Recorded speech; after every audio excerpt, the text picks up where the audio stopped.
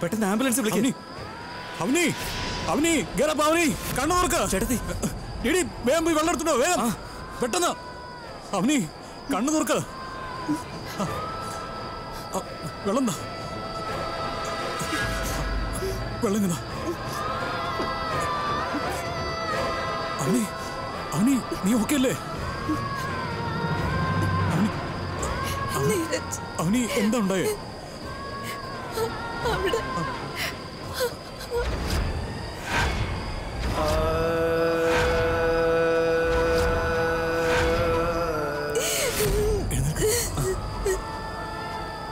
അവിടെ വണ്ടിയിൽ കൊണ്ടിരുത്തു. ആ പെട്ടെന്ന്.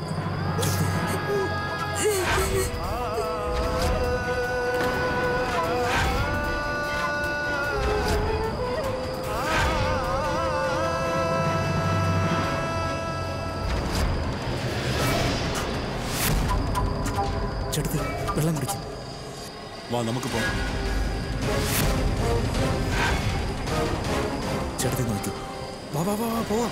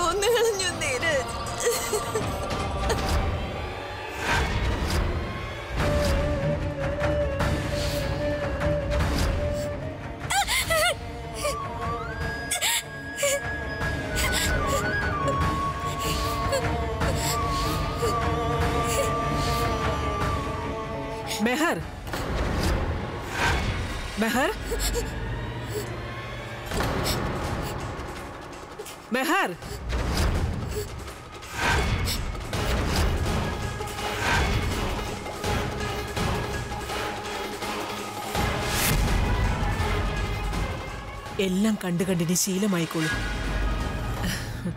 ആദ്യമായി രക്തത്തുള്ളികൾ വീഴുകയാണല്ലേ ശരീരത്തിൽ? പേടിക്കണ്ട. രാജേശ്വരിക്ക് ഭീരുക്കളായ ആൾക്കാരെ ഒട്ടും തന്നെ ഇഷ്ടമല്ല. ഇങ്ങനെ പേടിച്ചാൽ നിന്റെ സ്ഥാനത്ത് അവനെ എങ്ങനെ കൊണ്ടുവരാനൊക്കും?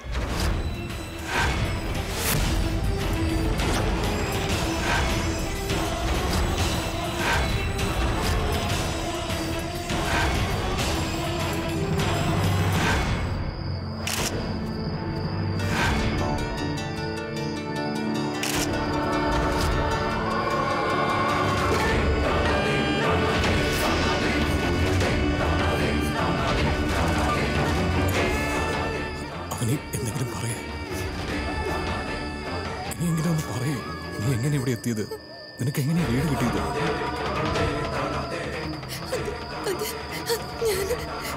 ഞാൻ അലിയുടെ വീഡിയോയിൽ അലിയുടെ വീഡിയോ കാണായിരുന്നു അതിലൊരു അമ്പലം കണ്ടു. അവനെ ഞാൻ നിന്നെ കുഞ്ഞുനാൾ മുതൽ ഇഷ്ടപ്പെട്ടിരുന്നു. ആ ഇഷ്ടം ഇപ്പോഴുമുണ്ടോ. നിന്നെ സ്വന്തമാക്കാൻ വേണ്ടി ഞാൻ എന്തും ചെയ്യും. അതുകൊണ്ടാണ് ഞാൻ ബോംബ് ബ്ലാസ്റ്റ് നടത്തിയത്. അതിനുശേഷം നീരജിനെ ഹോസ്പിറ്റലിൽ വെച്ച് കൊല്ലാനും ശ്രമിച്ചു. ഇതെല്ലാം ഞാൻ നിനക്ക് വേണ്ടി മാത്രമാണ് ചെയ്തത്. ഞാൻ ആ ക്ഷേത്രത്തിനടുത്തൂടെ പോവായിരുന്നു.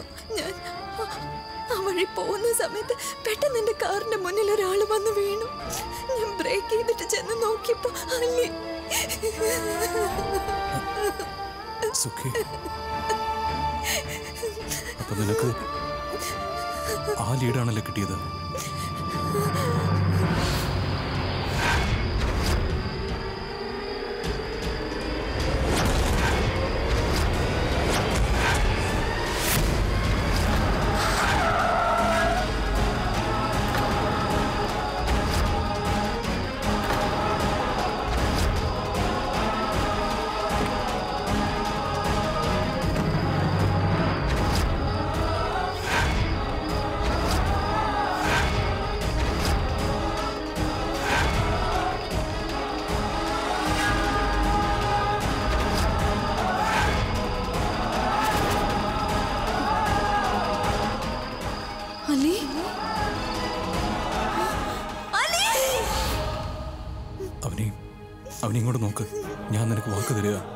കേസിന് ഉടനെ പരിഹാരം ഉണ്ടാവും ഡോൺ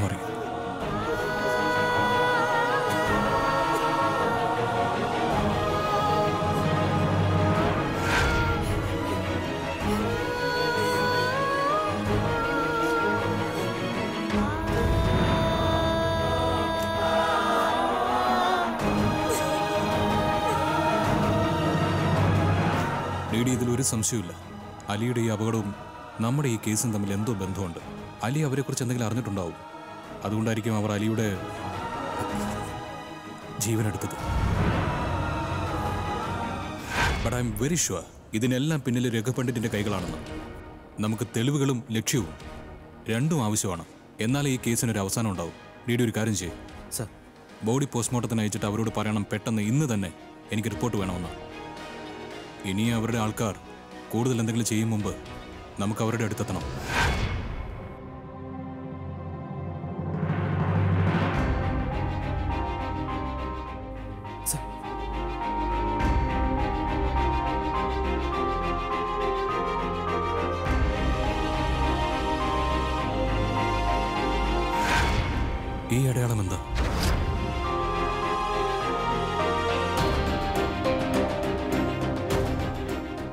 തിരിച്ചറിയാൻ കഴിയാത്ത വിധം ബോഡി ഒരുപാട് വികൃതമാക്കിയിട്ടുണ്ട്. പക്ഷേ ഡി എൻ എ ടെസ്റ്റിലൂടെ തിരിച്ചറിയാൻ കഴിയും. അതിനുവേണ്ടി നമുക്ക് ഇയാളുടെ കുറച്ച് സാമ്പിൾസ് വേണം. ഏതെങ്കിലും പഴയ ഡെന്റൽ റിപ്പോർട്ട് ചീപ്പ് ടൂത്ത് ബ്രഷ് അങ്ങനെ എന്തെങ്കിലും? ഞാൻ ശ്രമിക്കും ഡോക്ടർ. താങ്ക് യു സാമ്പിൾസ് കിട്ടിയാലുടൻ ഞങ്ങൾ ഇൻവെസ്റ്റിഗേഷൻ തുടങ്ങാം. അവരെ അവരെ അവരെന്റെ അലിയെ കൊന്നു കളഞ്ഞു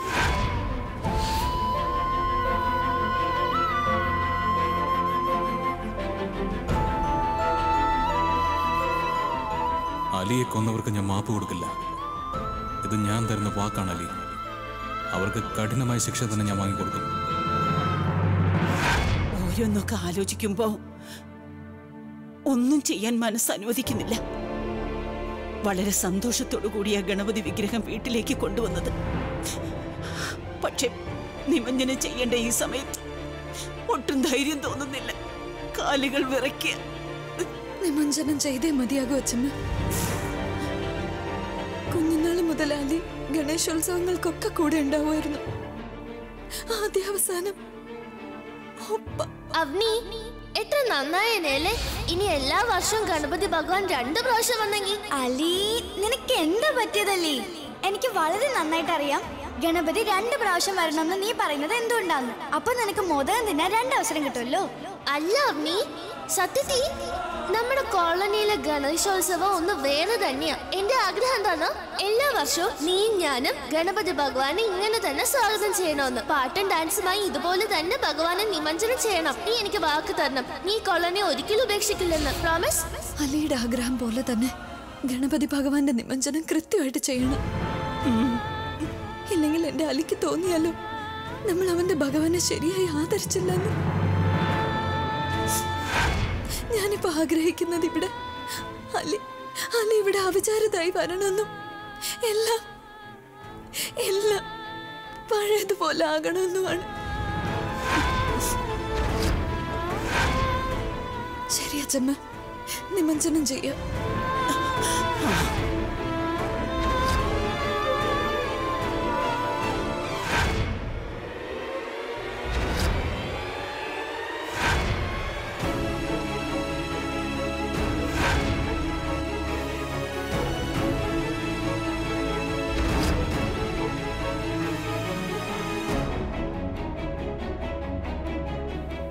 നമ്മുടെ പ്ലാൻ വിജയിച്ചിരിക്കുക രാജേശ്വരി വർമ്മയ്ക്ക് വിശ്വാസമായി കഴിഞ്ഞു. ഞാൻ ഇനി എന്നും അവരുടെ കൂടെ കാണുമെന്ന്. ഞാൻ എന്റെ സ്വാതന്ത്ര്യത്തിന് പകരം അവനെ അവരുടെ കൈകളിൽ ഏൽപ്പിക്കേണ്ടി വരും.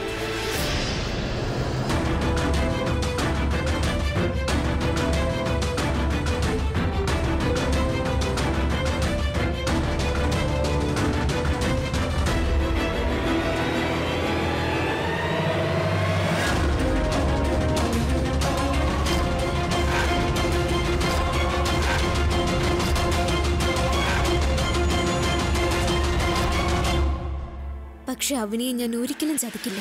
ഞാൻ ഉടൻ തന്നെ അവളെ അറിയിച്ചിരിക്കും. ഞാനും അവനെയും സംസാരിച്ചതൊന്നും ഒരിക്കലും ആരും അറിയാൻ ഇടവരില്ലെന്ന്. നീ വളരെ ധൈര്യശാലിയാണ്. എന്റെ ജീവിതത്തിൽ ഇതുവരെ നിന്നെപ്പോലൊരു കുട്ടിയെ കണ്ടിട്ടില്ല. താങ്ക്സ് മഹർ. നിന്റെ ഈ സഹായം എന്റെ ജീവിതത്തിൽ ഞാൻ എന്നും ഓർമ്മിക്കും.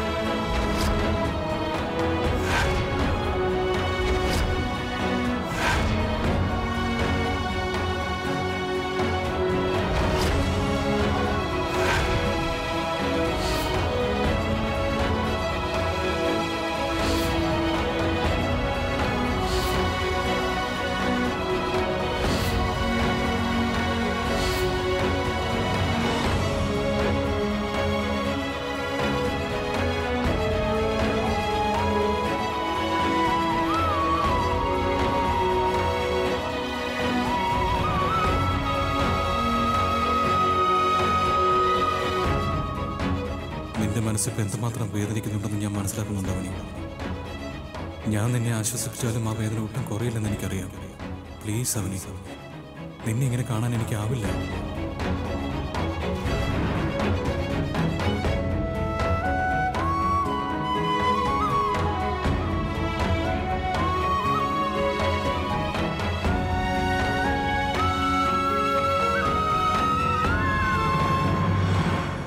അങ്ങനെ എന്റെ ജീവിതത്തിന്റെ വഴിത്താരയിൽ ഞാനും എന്റെ ശത്രു അവനെയും എത്തിക്കഴിഞ്ഞു. ഉടൻ തന്നെ ഞങ്ങൾ മുഖാമുഖം കാണും. അപ്പോൾ അവനെ കൊണ്ടുവരുന്നത് നീ?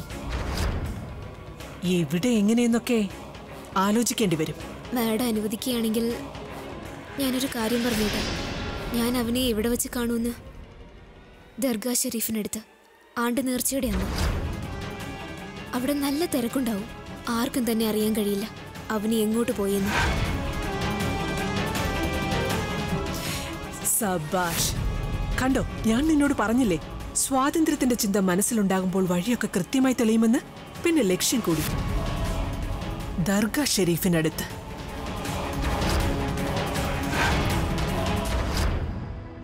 ഞാൻ മനസ്സിൽ തീരുമാനിച്ചു കഴിഞ്ഞു. ഇനി നീ എന്റെ ഫ്രണ്ട് അല്ലെന്ന്. അഗ്നി നീ ഇല്ലാതെ ഞാൻ എന്താ ചെയ്യും? അഗ്നി ഇത് അലിയുടെ സ്പെഷ്യൽ ഹാഗ നിന്റെ മനസ്സിലെ സങ്കടമല്ല ഇപ്പൊ സന്തോഷമായി മാറും.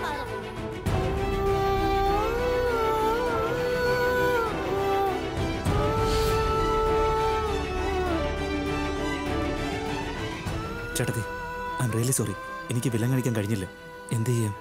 സാറിന്റെ ഓർഡർ അല്ല തെറ്റ് ചെയ്ത്. നീരജു അല്ല എന്നെ ഇപ്പൊ സങ്കടപ്പെടുത്തുന്നത് ഞാൻ ഒരുപാട് വൈകിപ്പോയി എന്നതാ. അലിയെ രക്ഷിക്കുന്നതിൽ അല്ല നീരജ് എവിടെയാ? നിമഞ്ജന സമയത്ത് ഇവിടെ ഉണ്ടായിരുന്നല്ലോ. സാരല്ല ഞാൻ നോക്കിക്കോളാം. ശരി ഏട്ടത്തി.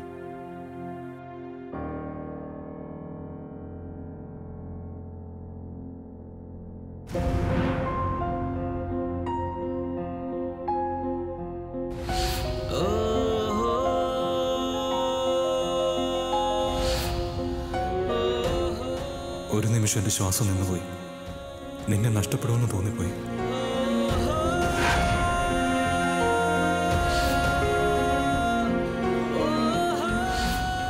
ജീവിതത്തെ വിശ്വസിക്കാനാവില്ല അവനെ. ഒരു നിമിഷം മതി എല്ലാം മാറി മറിയാൻ നമ്മളിപ്പോഴും നമ്മുടെ മനസ്സിലെ കാര്യങ്ങൾ തുറന്നു പറയാതെ മടിച്ചു നിൽക്കുക. ജീവിതത്തെ എങ്ങനെ നമുക്ക് വിശ്വസിക്കാനാവും അവനെ? ഇല്ല അവനെ. എന്താണോ പറയാനുള്ളത് എന്താണോ ചെയ്യാനുള്ളത്? ഇപ്പോൾ ഈ നിമിഷം വേണം. കഴിഞ്ഞതിനെക്കുറിച്ച് ഓർത്തിട്ട് ഒരു കാര്യമില്ല അവന് നീ എന്നോട് ഇനി പറഞ്ഞേ പറ്റൂ. നിന്റെ മനസ്സിൽ എനിക്കുള്ള സ്ഥാനം എന്താണെന്ന്? എന്നോടുള്ള നിന്റെ ഫീലിംഗ് എന്താണെന്ന്? മതി അവന്. ഇനി എനിക്ക് കാത്തിരിക്കാനാവില്ല. ഇല്ലെങ്കിൽ ഒരുപാട് വൈകി പോകും ചിലപ്പോ. എനിക്ക് നിന്നോട് ഒത്തിരി പറയാനുണ്ടാവില്ലേ? ഒത്തിരി.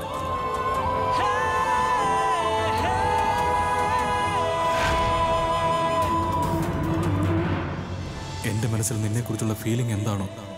എന്താണോ ചിന്തിക്കുന്നത്? എല്ലാം എനിക്ക് ഷെയർ ചെയ്യണം നിന്നോട്.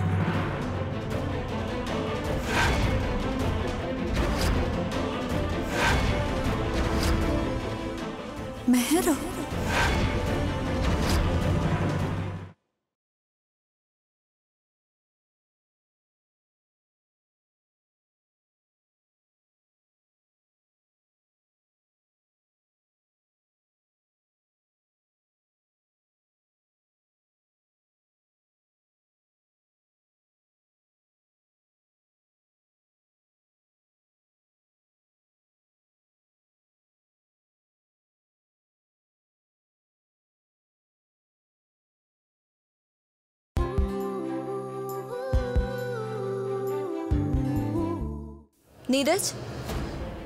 എവിടെയാ?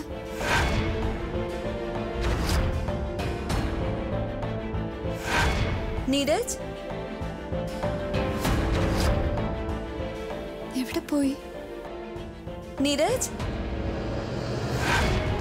ജൂഹി നീ ടെല്ലുവിനെ വിവാഹം കഴിച്ചിരുന്നെങ്കിൽ ഇന്ന് ഇത്രയും പ്രശ്നങ്ങൾ ഉണ്ടാവില്ലായിരുന്നു.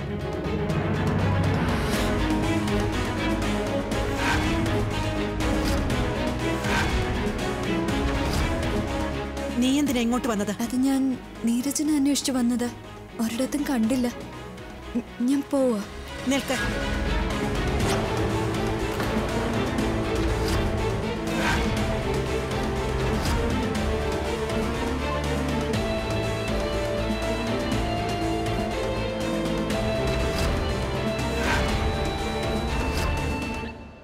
അലി നിന്റെ ജീവിതത്തിൽ നിന്ന് ഇപ്പൊ പോയില്ലേ? നിനക്കത് തന്നെയാണ് സംഭവിക്കാൻ പോകുന്നത്. എന്നേക്കുമാണ് ഇനിയെങ്കിലും മനസ്സിലാക്ക് നീ ആരുടെ ജീവിതത്തിലേക്കാണോ കടന്നു വരുന്നത്? അവർക്ക് സ്വന്തം ജീവിതം തന്നെ നഷ്ടപ്പെട്ടു പോകുമെന്ന്. കാരണം നിന്റെ തലയിലെടുത്ത് അങ്ങനെ എന്റെ ടില്ലുനെ തന്നെ നോക്ക്. നീ അവന്റെ ജീവിതത്തിൽ വന്നപ്പോ എന്റെ ടില്ലു മരണത്തിന്റെ വായിൽ നിന്ന് എത്ര പ്രാവശ്യം രക്ഷപ്പെട്ടു വന്നുവെന്ന്. എന്ത് സന്തോഷത്തോടെ ഇരുന്നത് എന്റെ കുട്ടി. ജൂഹി അവനോടൊപ്പം ഉണ്ടായിരുന്ന സമയത്ത്. പക്ഷെ ജൂഹി പോയതിനു ശേഷം ഞാൻ എന്റെ ടെല്ലുവിനെ സന്തോഷത്തോടെ കണ്ടിട്ടേയില്ല. ഒരമ്മയാണ് ഞാൻ. ഞാൻ കരുതി ഒരു ജീവിത പങ്കാളിയെ കിട്ടിയ എന്റെ കുഞ്ഞ് സന്തോഷിക്കുമെന്ന്.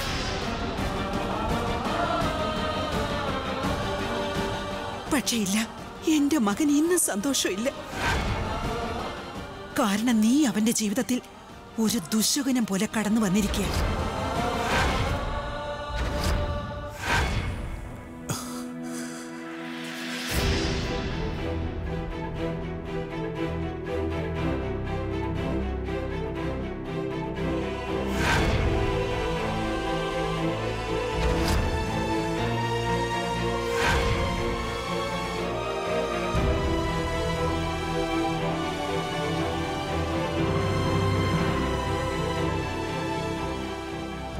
ഒരുപാട് സമയം ഞാൻ നഷ്ടപ്പെടുത്തി. ഈ റിങ് ഞാൻ നിനക്ക് വേണ്ടി കൊണ്ടുവന്നതാണ്. ഞാൻ വിചാരിച്ചു നീ എന്നോട് നിന്റെ മനസ്സിലുള്ള കാര്യങ്ങളെല്ലാം ഷെയർ ചെയ്യുന്ന. ഇനി ഇത് ഞാൻ നിനക്ക് തരും. ഇപ്പോൾ നിന്റെ മനസ്സിലുള്ളതെല്ലാം എനിക്കറിയാമല്ലോ. അതുകൊണ്ട് എന്റെ കൈകൊണ്ട് തന്നെ ഈ റിങ് ഞാൻ നിന്നെ അണിയിക്കും. എന്റെ മനസ്സിൽ നിന്നെക്കുറിച്ചുള്ള ഫീലിംഗ് എന്താണോ എന്താണോ ചിന്തിക്കുന്നത് എല്ലാം എനിക്ക് ഷെയർ ചെയ്യണം നിന്നോട്. എല്ലാം ഷെയർ ചെയ്യണം. മനസ്സിലുള്ളതെല്ലാം എനിക്ക് നിന്നോട് തുറന്നു പറയണം.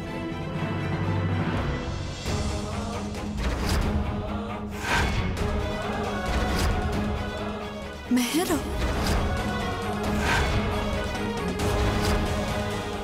ഇതിനർത്ഥം ജോയി ജീവിച്ചിരിക്കുന്നു എന്നല്ലേ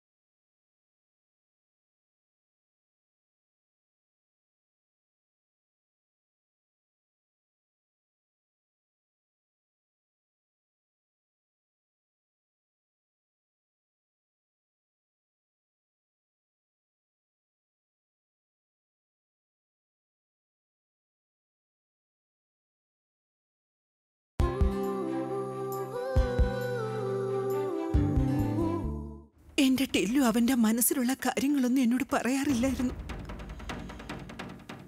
ഇപ്പോഴും അവൻ എന്നോടൊന്നും പറയുന്നില്ല. കാരണം ഇന്നും എന്റെ ടില്ലുവിന്റെ ജീവിതത്തിൽ അവന്റെ മനസ്സിൽ ജൂഹി മാത്രമേ ഉള്ളൂ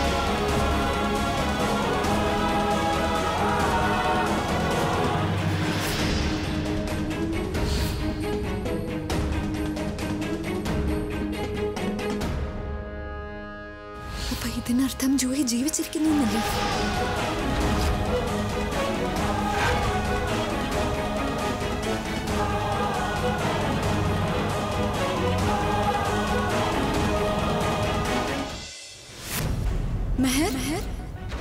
മെഹർ? എന്ത് കാര്യത്തിന് നീ ഇവിടെ വന്നത്? അവന് നീ എന്താ എന്നെ നിന്ന് വിളിക്കുന്നത്? പറയാവനെ നീ എന്തിനാ ഇവിടെ വന്നത്? ജൂഹി!